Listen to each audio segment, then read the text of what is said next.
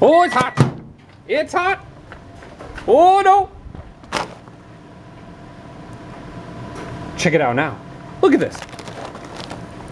What gas law is present in this bag? What gas law is this an example of? Check me in the next one.